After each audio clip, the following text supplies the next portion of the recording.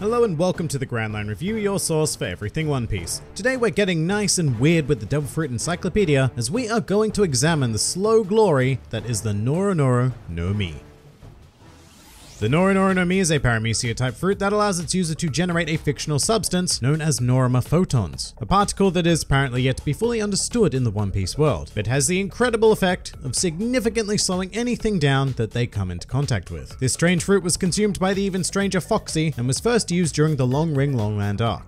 The Noronoro no Mi takes its name directly from the Japanese word noronoro, essentially meaning slowly or sluggish, which makes sense given the effect of the photons. However, just on that, the particles themselves take their name from the word norima, which can mean something along the lines of gullible, idiot, or generally thick in the head. This name was likely given to the particles as a joke referencing its user in the series Foxy, who very much fits that description. Funimation went on to translate these as slow-mo photons, while Viz decided to go with slowpoke photons. But as for the fruit itself, both Viz and Funimation chose to translate its name, rather simply, as the slow slow fruit. Alright, so despite the made up scientific jargon, the use of the Noronoro no Mi is fairly simple, as what it essentially boils down to is firing a beam, and then anything that comes into contact with said beam is slowed down by approximately 30 seconds. I want to emphasize that whatever comes into contact with the beam is slowed down, not frozen, and as such will still continue to move as it naturally would, just at a mere fraction of its normal speed. However, immediately after the 30 seconds has passed, the effect of the fruit wears off, and the target is returned to normal. So initially the Noronoro no Mi presents itself as a very, very useful utility for preventing mildly annoying situations, such as spilling a glass of wine.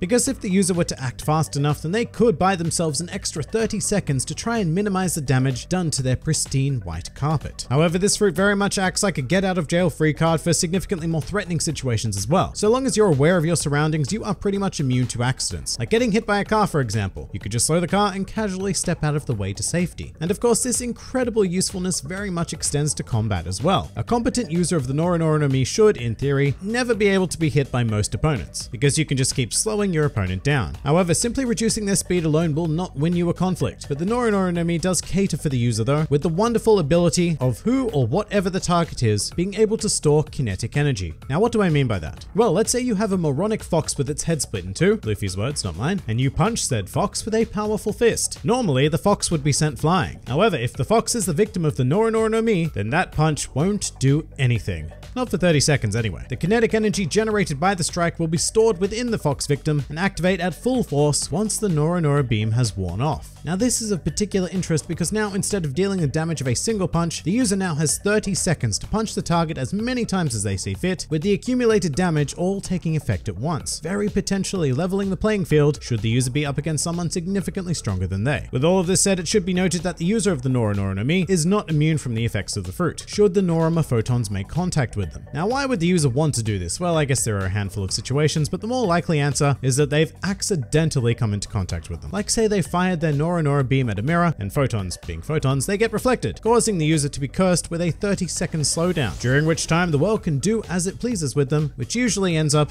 in a very unhappy fox. But mirrors and reflective surfaces in general are a huge weakness to the user of the Noronoro no Mi, and in fact I'd go so far as to say that a fruit like the Mirror Mirror no Mi is pretty much the natural counter of this fruit. Just imagine that battle though. Splithead versus Branch. I'd be keen. And with that in mind, we should take some time to examine how Foxy makes use of the Noronoro no Mi, and the answer is actually with an incredible sense of creativity. Foxy is a legitimate genius. Yes, I said genius, who over-engineers complex solutions to problems that nobody actually asked to be solved. A great example of this would be the Foxy fighter technique, whereby he slows down a cannonball, then mounts the cannonball with a wooden fighter, and then once the beam has worn off, he is sent flying towards his opponent at an incredible speed. And he has countless fascinating creative uses of the fruit. In fact, if he spent half the energy on some sort of legitimate training that he puts into crafting ingenious methods of cheating and sucker punching, then he'd be a pretty decent threat within the One Piece world. However, as it is, Foxy's use of the Noronoro no Mi is primarily rooted in glorious comedy. That really isn't the end of this fruit though, because there exists a pretty terrifying possibility when it comes to the idea of awakening. Due to the somewhat unique nature of this paramecia, I'd hesitate to say that the user would be able to morph their environment into Norima photons, although I won't deny that that is a possibility. The idea I find more interesting interesting though is that the user is able to increase the emission of photons in a spherical-like manner within a certain radius. Somewhat like the equivalent of the room ability of the Ope Ope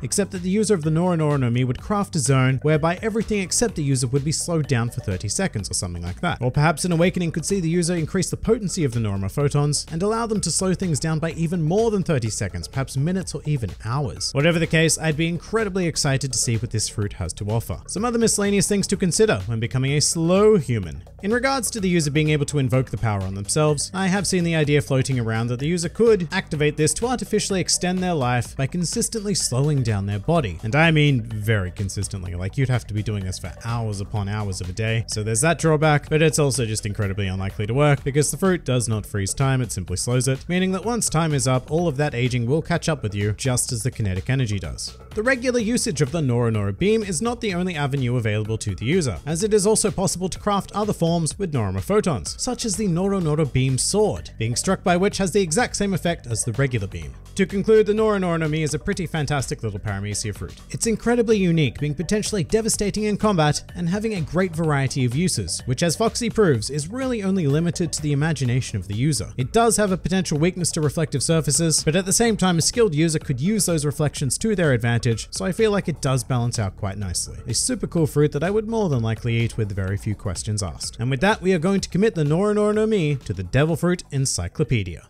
Next week, we're done slowing things down, and we'll be looking at freezing them entirely as we step back into Logia Town with the Hie Hie No Mi. If you enjoyed this video and the content this channel produces in general, then please do consider donating to the Grand Line Review Patreon, because the support of all of you amazing people is what continues to make this channel possible. Also do check out my Teespring store if you're interested in shirts, hoodies, and other miscellaneous items, with the proceeds going directly to support the channel as well. And if you'd like to join the fun at any time, then please do head over to my Discord server, where a wide array of shenaniganry takes place on a daily basis. And finally, please do comment with your thoughts on the Noro Noro no Mi. This has been the Grand Line Review, and I'll see you next time.